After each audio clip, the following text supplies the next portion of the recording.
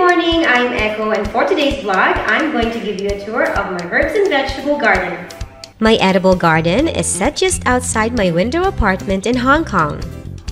On this vlog, I will also share with you my personal experience with growing my favorite herbs and vegetables in pots and some tips that I've learned through my gardening journey. So, let's get started!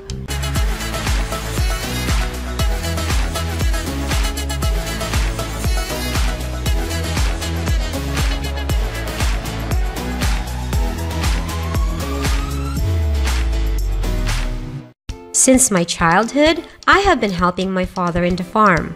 I helped him plant and harvest sweet potatoes, peanuts, corn, and other root crops. I grew up in a small hut with plenty of fruit-bearing trees all around and a vegetable garden in the yard. We lived a simple life, some days are harder than others, but we never starved. These days, when I visit my family in Bicol, gardening is still one of the most enjoyable bonding activities I share with my siblings. Currently, I live in Hong Kong and I've been growing my edible garden for almost 4 years. Most of the apartments in Hong Kong are small and the cost of living is very high. Luckily, I have a space just outside our window apartment to grow my herbs and vegetable garden. I started with a few herbs that were easy to grow like mint, scallions, parsley, rosemary, and basil. And then eventually I added some tomatoes, chili peppers, and ginger. Today, my apartment garden is thriving and I couldn't be happier. I truly enjoy this hobby. If you're considering to start your own edible garden, keep watching as I'm about to show you the step-by-step -step of how I grow my herbs and vegetables in pots. You might get your hands dirty, but trust me, it's a lot of fun, especially when it's time to harvest your own produce. Tomato is my favorite edible plant to grow in a pot. This seedling is 18 days old, and now I'm transferring it in a medium-sized pot. Tomatoes likes it when you plant them deep. I have another growing tomato plant here that is 30 days old. Tomatoes grow well with at least 6 hours of full sun, and if your tomatoes gets 8 hours of sunshine, even better. This one here is 40 days old and flowers have started to appear. By day 58, my tomatoes have started producing fruit. Another rule of thumb when it comes to growing tomatoes is watering it consistently. I find that if you don't water them enough, they get weak. Based from my personal experience, my tomatoes are happier if I water them twice a day during hot season. So I water them in the morning and in the afternoon. I also learned that they thrive in moist soil. If you overwater, the soil will turn soggy and the roots will eventually rot. By day 85, the tomato begins its ripening process, triggering the fruit to start turning red. Now I'm all excited!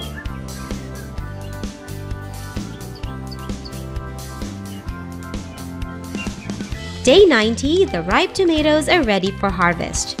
I can't wait to make a Caprese salad off of this.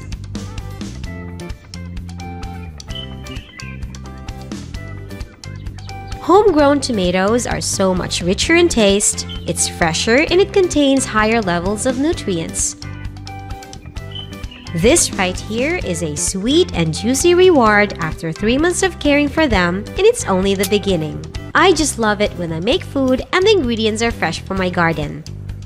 Mint I regrow them from cuttings when I harvest mint from my fresh garden. I remove all but the top leaves. Then I cut the mint stem just below a node, about 3 to 4 inches in length. I place the stems in a small jar with about an inch of water that I refill or change every 2 to 3 days. Then, I just leave them on my kitchen counter and wait until the roots appear, which can take for a couple of weeks. Once a good root system has developed, it is time to plant them in small pots. Mint thrive in light soil with good drainage. I love growing mint because it needs very little care. It's one of my favorite herbs because of its fresh, cool taste and aromatic scent. To keep them happy, I water them regularly to keep the soil evenly moist.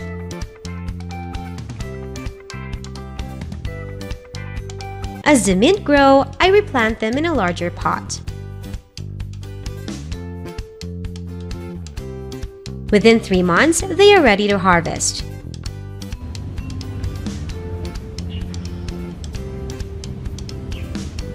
At this point, I recommend cutting the stem to 1 inch above the soil. This will allow the mint to regrow and ready to harvest again in a month or so. I find that frequent trimming and pruning is the key to keeping my mint happy and at their best. I made a mistake once of not harvesting mint at all because I didn't need it. But as a result, my mint turned old and stale. Young leaves have more flavor than the old ones. So, to keep my mint happy, I harvest them as soon as they're ready. Mint can keep fresh in the fridge for up to 2 to 3 weeks. They also freezes very well.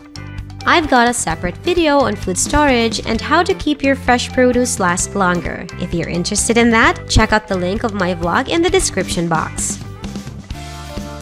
Rosemary, another herb that requires very little care. I love its distinct scent, almost citrus-like aroma. This herb is great for roasting meat or potatoes. And rosemary goes very well when mixed with various cocktails. To grow them from cuttings, snip a couple of healthy stems of rosemary from the mother plant about 6 to 8 inches in length. Strip off the lower leaves about 1 inch from the bottom end. Then use a knife to shape some of the outer layer off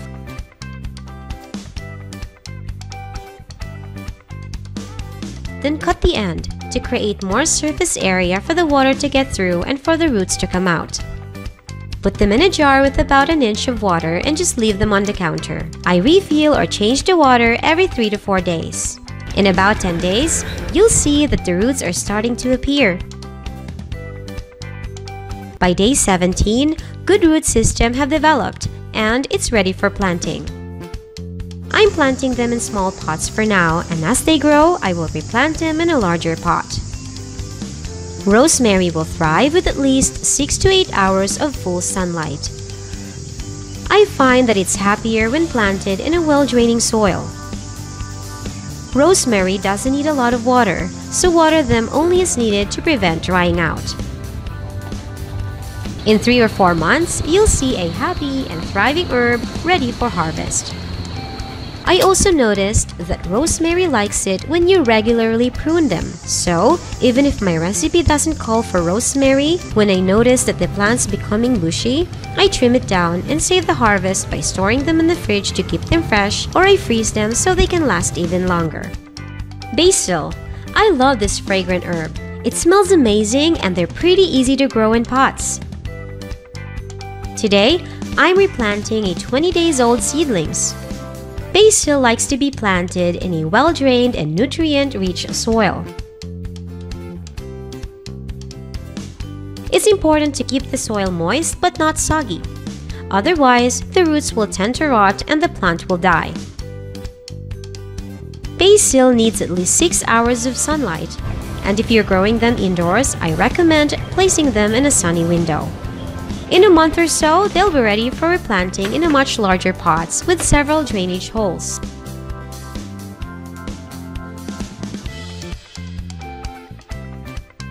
Within two months, you'll have a thriving basil ready for harvest. I find that pruning basil regularly keeps them happy.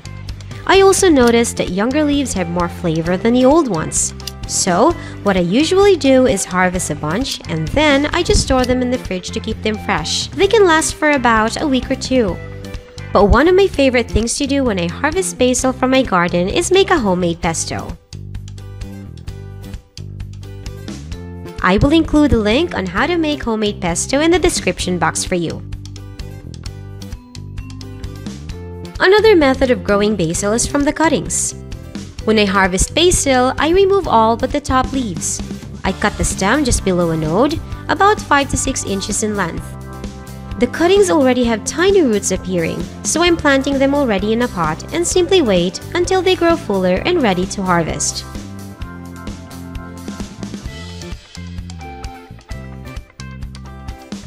Culantro, also known as sawtooth coriander.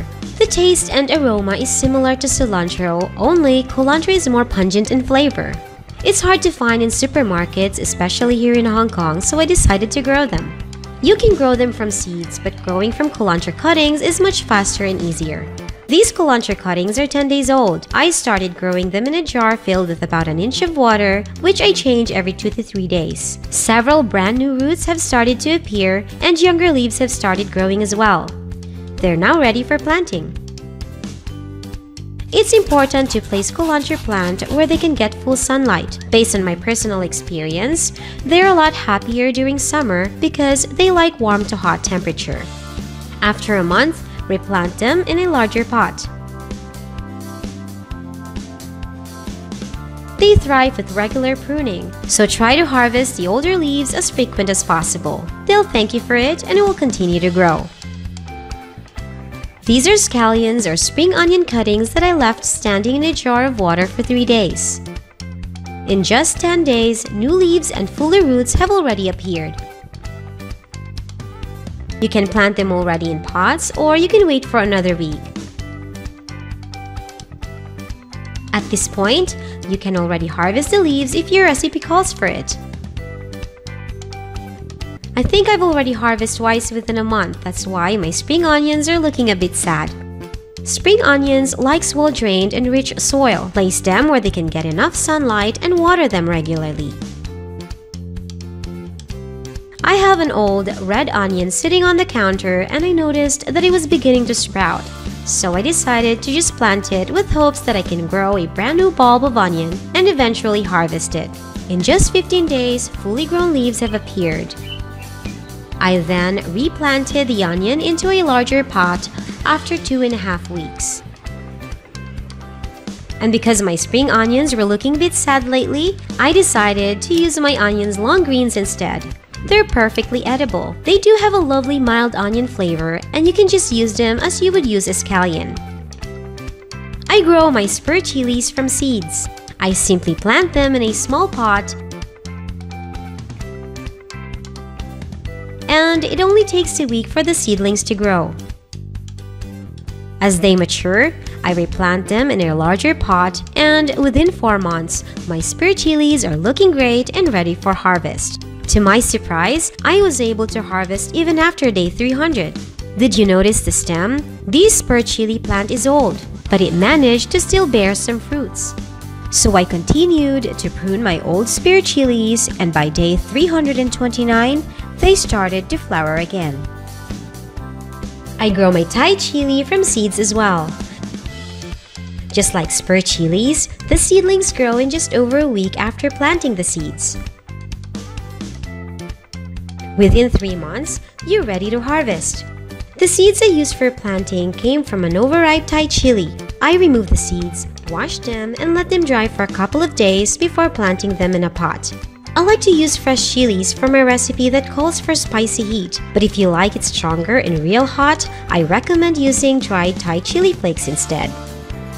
Sweet potatoes. My favorite merienda and snack at school and at work, and even today, sweet potato is part of our staple food.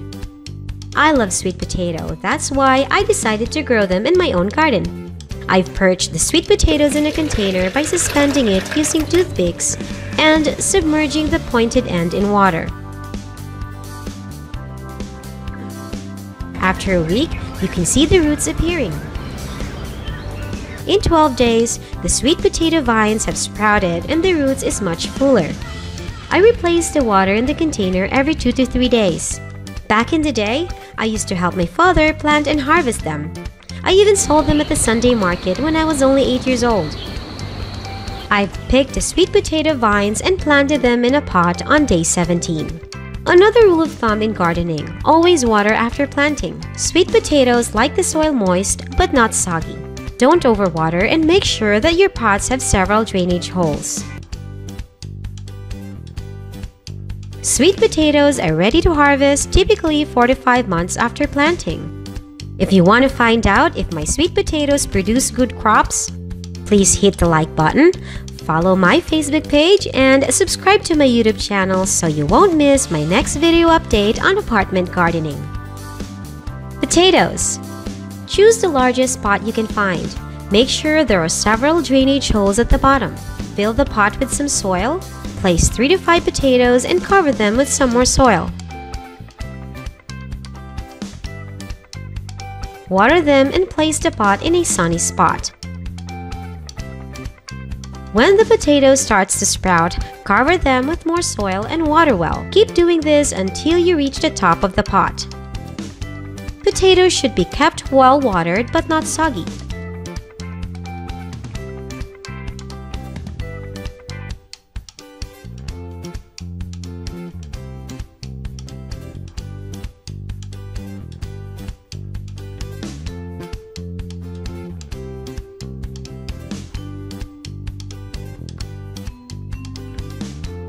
Potatoes are ready for harvest when the plant starts to flower. I'm excited to find out if my potatoes will produce good crops.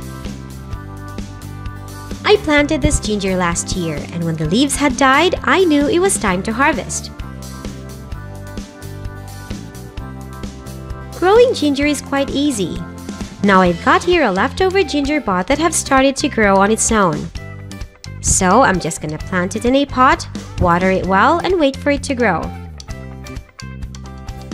Ginger doesn't require much care. It thrives in a sheltered spot, warm weather, humidity, rich and moist soil. These ginger will be ready for harvest in about 10 to 12 months.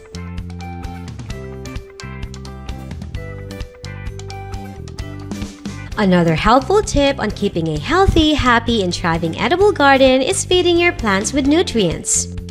Nitrogen, phosphorus, and potassium are essential nutrients for growing plants in containers. Some plants like a lot of water and direct sunlight, while other plants thrive in moist soil and shade. Some plants require very little care, while other plants likes regular pruning and fertilizing.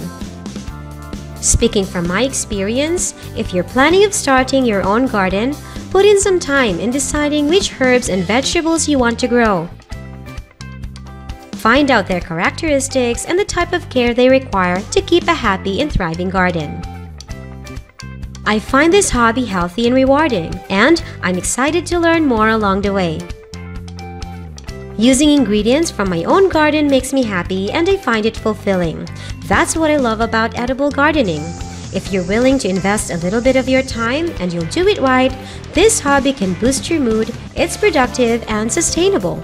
If you know any gardening hacks and tips on apartment gardening, kindly leave me a comment below. I'd appreciate any advice from you so I can continue to improve my garden. I'll be doing a vlog series on apartment gardening and I will keep you guys posted on the progress and development of my plants, including failed attempts and experiments. I would be happy to share with you the things I've learned through the process and I hope this vlog would serve as a proof that it's possible to grow your own produce even in small spaces and hopefully encourage you to start your own garden whether you live in a house or apartment. Thank you for watching. If you like this video, please give it a thumbs up and share it with your friends. And if you haven't already, please like and follow my Facebook page and subscribe to my YouTube channel so that I can continue to provide you with insightful videos. If you have questions or suggestions, please leave me a comment below. I would love to hear from you. Thank you for your support and I'll see you guys soon. Bye!